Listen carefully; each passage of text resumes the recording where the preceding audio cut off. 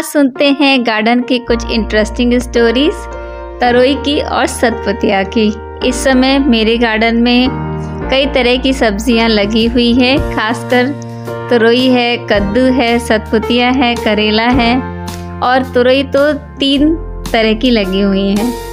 और दो तीन जो पौधे हैं मेरे जो आ, लटके हुए हैं ऊपर इधर आप देख रहे हैं किस तरह से फैले हुए हैं। ये तो इतने मिक्स हो गए हैं कि मैं क्या ही बताऊँ। सतपुतिया और तुरई के जो पौधे हैं, वो काफ़ी मिक्स हो चुके हैं। मगर इनके पत्ते में आप डिफ्रेंशिएट कर सकते हैं। एक का पत्ता थोड़ा सा बड़ा होता है और हरा काफ़ी होता है ज़्यादा, और एक का थोड़ा सा लाइट होता है। और अभी जो मैंने काटी थी, वो तुरई थी, और ये जो लटकी हुई है, ये सतपुतिया है। मैं बता दूँ आपको। सतपुतिया थोड़ी छोटी होती हैं साइज़ में और तुरई थोड़ी बड़ी होती हैं। और सतपुतिया को थोड़े छोटे साइज़ में ही काट लिया जाता है। और ये जो फूल आप देख रहे हैं, ये तुरई के फूल हैं। और इसी में कहीं कहीं आपको सतपुतिया के भी फूल नज़र आएँगे। ये देखिए, इस तरह से काफ़ी जगह आपको ऐसे फूल दिखाई दे रहे होंगे। इनके फूलों की भी सब्ज़ी बनती है, मैं बता दूँ आपको। आप फूलों की भी सब्ज़ी इसमें बनाकर खा सकते हैं। और इसके साइड में करेला भी लगा हुआ है। ये सतपुतिया है। ये जो लटक रहा है गुच्छा इसमें ए, तीन में से एक सतपुतिया थोड़ी मैच्योर है जिसे आज हम काट के खा सकते हैं। सब्ज़ी बना के बाकी दो अभी एक या दो दिन के बाद में मैच्योर होंगे। तो इसी तरह से अगर गार्डन से कुछ फ्रेश सब्ज़ियाँ मिल जाएँ तो क्या बात है। और इन सब्जियों को हमने एक से डेढ़ महीने पहले लगाया था। एक्चुअली जब हम बारिश का मौसम शुरू ही हुआ था, तभी हमने इसे लगाया था।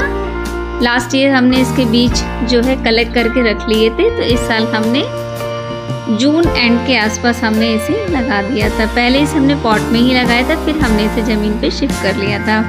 यकीन मानिए एक एक पौधे से कई बार तो ऐसा होता है कि सौ सौ फल निकलते हैं और इतनी सब्ज़ी मिल जाती है कि कम से कम आप आराम से एक महीना खा सकते हैं। और एक ही पौधे से सोच लीजिए निकल रहा है। ऐसा नहीं कि मैंने बहुत सारे पौधे लगाए। एक एक ही सतपुतिया का है और एक ही तुरई का है। तुरई मगर दो तरह की, एक छोटी तुरई भी है जो मेरे नीचे गार्डन में लगी हुई है। अब क्योंकि ये नीचे गार्डन में लगी हुई थी मगर ये फैल के ऊपर आ गई है टेरेस में और बहुत ज़्यादा फैल गई है। बहुत सारे गमलों को तो इसने कवर तक कर लिया है। तो इसी तरह से बहुत अच्छा लगता है गार्डन में। अगर हमें कोई सब्ज़ी घर से मिल जाए बहुत ही आ, अच्छा लगता है। देखिए छोटी छोटी तुरई लगी हुई है। कितना अच्छा लग रहा है देखने में गार्डन में। और जब इसके गुच्छे ऐसे लटक के तैयार हो जाते हैं, जब मैच्योर हो जाती है तो तोड़ने में बहुत ही अच्छा लगता है। एक तो घर की सब्ज़ियाँ होती हैं, इनके टेस्ट में बहुत डिफरेंस होता है जो आप बाज़ार से लाते हैं और जो आप घर में खाते हैं। इसके टेस्ट में आपको जब आप पका के खाएँगे तो आपको खुद पता चल जाएगा कि कितना डिफरेंस है।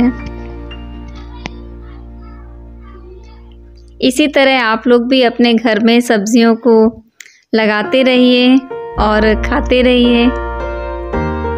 देखिए, करेला भी ऊपर आके, ऊपर तक चढ़ गया है और ऊपर करेले लटक रहे हैं। नीचे भी बहुत सारे लगे हुए थे। हम कई बार सब्ज़ी करेले की भी खा चुके हैं। और अगर वीडियो अच्छा लगा हो तो प्लीज़ मेरे चैनल को सब्सक्राइब कर लीजिए, लाइक कर लीजिए, शेयर कर लीजिए और कमेंट करते रहिए और नेचर के साथ बने रहिए। Thank you.